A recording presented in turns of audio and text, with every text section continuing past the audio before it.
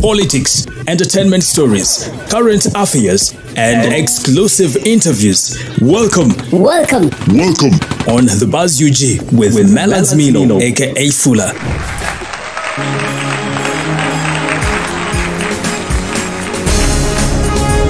Now, social media reports have revealed that Bobi Wine's friend Yusuf Babu, who is also a boxer, was uh, recently abducted by people believed to be security operatives.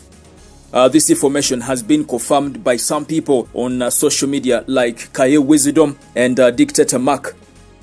However, uh, Bobi Wine hasn't posted about this abduction on uh, his social media platforms like uh, he has always done. Ugandans on different social media platforms have been seen questioning that until when will President Museveni's government end abductions in this country? Uh, Uganda police is yet to make a statement on this abduction, and I'll be keeping you posted right here on the Buzz UG. Now, yesterday, His Excellency Bobi Wine, the president of NUP at his home, received the four NUP supporters who were recently granted bail by the court martial after spending two years under detention at Kitalya Maximum Prison. Uh, Bobi Wine revealed that uh, some of these comrades were tortured and beaten to coma, and actually, their stories are very difficult to listen to.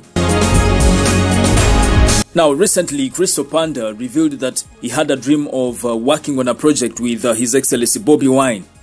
Now, in a recent engagement with the media, uh, Bobi Wine was questioned what he thinks about Christo Panda's dream, and uh, he said, uh, Dreaming is a very good thing, and uh, he should dream on. I mean, who knows, maybe it will happen in the nearby future. kristo panda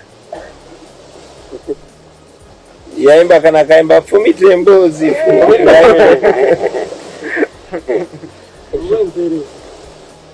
empere Eh. Ki- kineesimisa munange omuntu bwa- bwandootako bwabanga teyalose kibi omanya ayinza okuloota nga togiza omutuga oh, yalose tuli mu studio. That's not a bad dream. It's not a bad dream. Keep dreaming.